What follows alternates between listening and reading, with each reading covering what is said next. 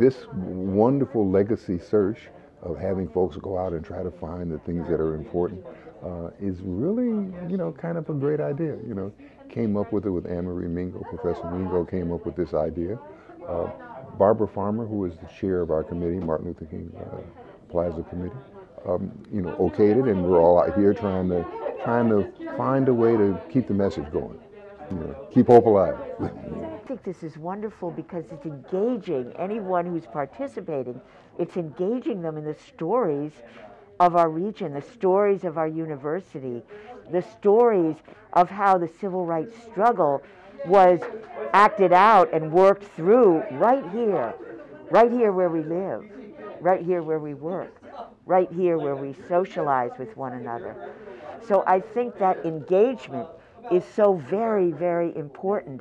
And not only that, we are enriched. Each one of us who participates is enriched by that process because we're working together, we're learning, we're growing, and it's all contributive to the Reverend Dr. Martin Luther King's vision of building a beloved community, which he spent his entire life doing.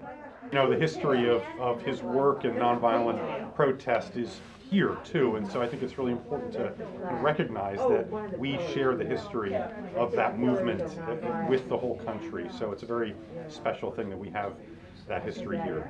These, you know, events for Martin Luther King Jr.'s uh, holiday have been going on for years, and the the Plaza Committee was around before I even got involved in local politics. So, you know, it's also really amazing to realize that there are there's all this history of people doing the work, you know, that, that we can build on. So um, I am fortunate that I step into this role where there are lots of people who've already done a lot of important work, and some of it is just seeing the work through. Uh, the, the, name and a, a Martin Luther King Day uh, uh, sale, you know, like the Columbus Day sale. How do you make it mean something? And I think the university has done a lot with that, with day of, of, of activity and the, and the day of service.